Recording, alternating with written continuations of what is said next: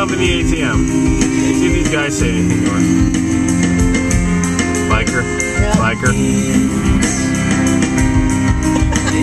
She needs help. She has no idea what is going on.